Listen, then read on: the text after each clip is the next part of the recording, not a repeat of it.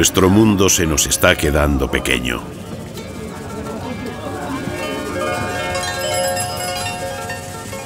La población humana crece sin cesar. Somos millones buscando alimento, refugio y beneficios de la tierra y el agua. La mayor parte de las poblaciones humanas es pobre y vive en los países menos desarrollados, de forma que los problemas ambientales derivados de su actividad les quedan demasiado lejos. Son un lujo que no se pueden permitir en la lucha diaria por la supervivencia de sus familias.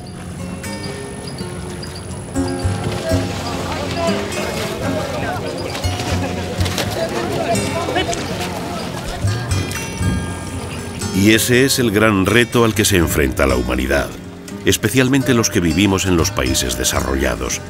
Hacer compatible el medio ambiente con las necesidades del llamado tercer mundo, millones de personas que necesitan asegurar su alimentación y su futuro.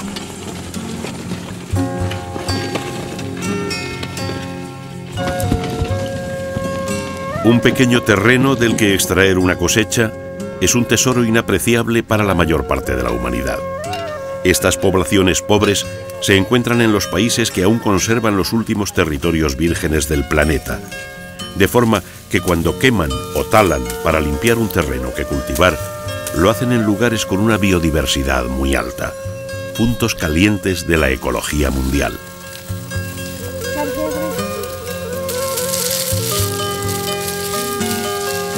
La presión de estas poblaciones pobres que buscan cubrir sus necesidades más elementales afecta directamente a ecosistemas que albergan los últimos paraísos de nuestro mundo expoliado. Y algunos de ellos, los más sensibles, están desapareciendo a una velocidad terrorífica.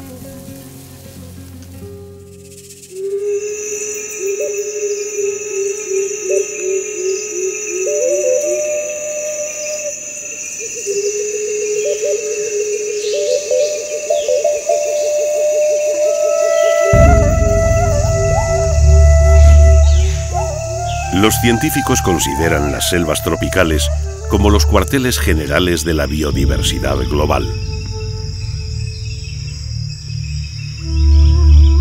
Hoy apenas cubren el 6% de la superficie de la Tierra, pero en su interior viven más de la mitad de las especies conocidas por el hombre.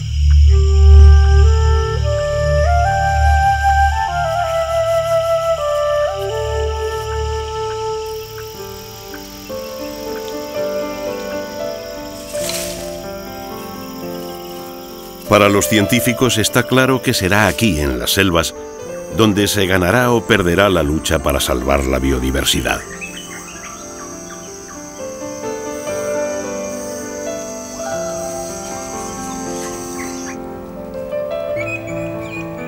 Esta es una lucha en la que millares de especies, muchas de ellas desconocidas, se juegan su futuro.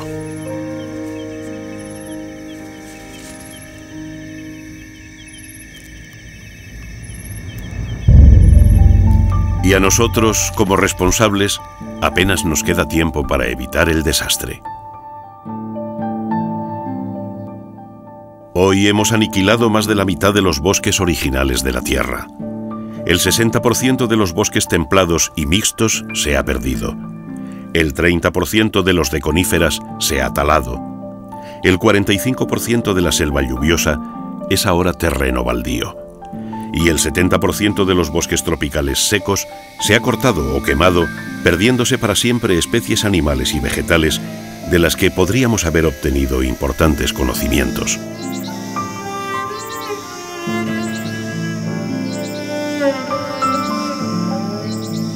Las plantas tropicales contienen sustancias de las que el hombre extrae compuestos medicinales desde sus lejanos orígenes. Cuando una especie desaparece, se lleva con ella sustancias que podrían proporcionarnos las drogas curativas de nuestras más mortíferas enfermedades. Cada rincón, cada nicho, esconde sus secretos.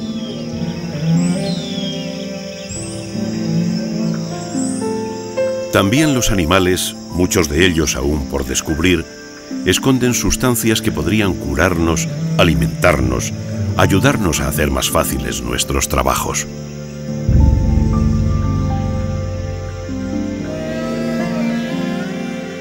Plantas y animales guardan celosamente secretos por los que pagaríamos fortunas.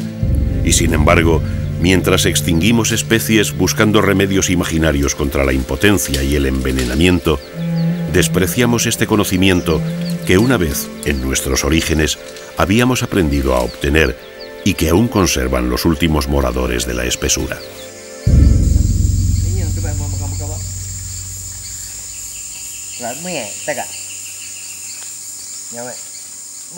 Los indígenas de las selvas tropicales se consideran enciclopedias vivientes de la farmacopea natural de las selvas.